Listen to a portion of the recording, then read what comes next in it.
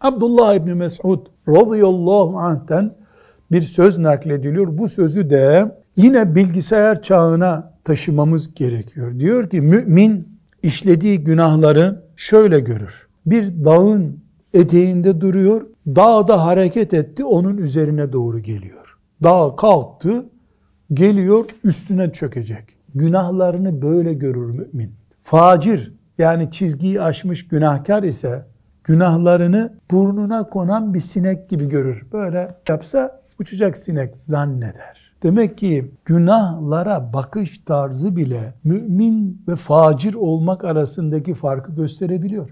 Tövbeye doğru hissiyatı oluşturuyoruz şimdi.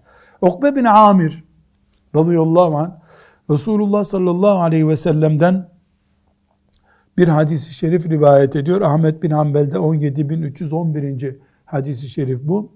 Efendimiz sallallahu aleyhi ve sellem buyuruyor ki kul günah işlemeye devam ettiği halde Allah'ın ona nimet verdiğini hala görüyorsan bil ki bu bir istidraçtır. İstidraç not ediyoruz.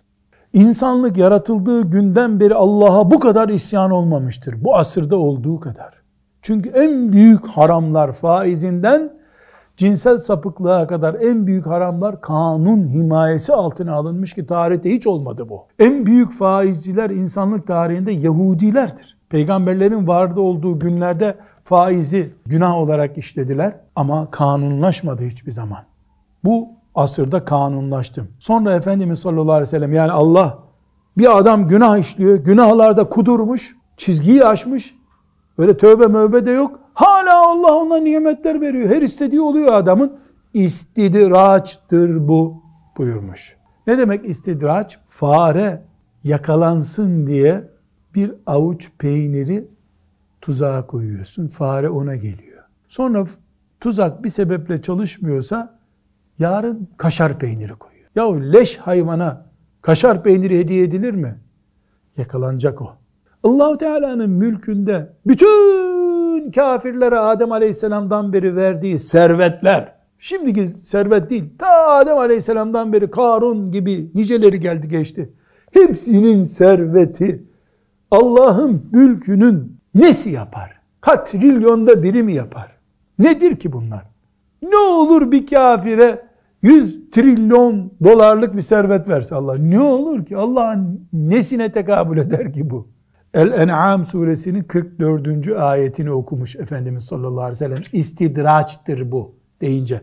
Bu hangi ayettir? فَلَمَّا نَسُوا مَا ذُكِّرُوا بِهِ Bizim onlara hatırlattığımız ayetlerimiz, hükümlerimizi unutunca onlar, bütün kapıları onlara açarız. Yani nimetler yağdırırız, her şeyi veririz. O kadar ki şımarmaya başlarlar. Ellerindeki nimetlerle şımarırlar. biz de onları ansızın yakalarız. Böyle bir istidraç var demek.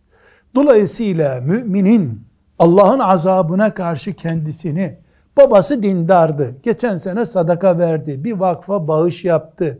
Veyahut da hacca gitti. Ondan sonra faiz serbest gibi. Ondan sonra yalan da sakınca yok gibi.